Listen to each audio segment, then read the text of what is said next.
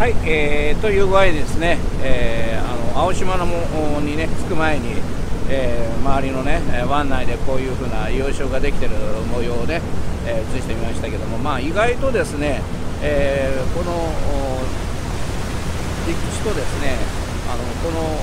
養殖している場所が意外に近いですよね、えー、港からはあの少しありましたけども、非常にあの陸地から近いですよね、はい、そういうのがちょっと予想の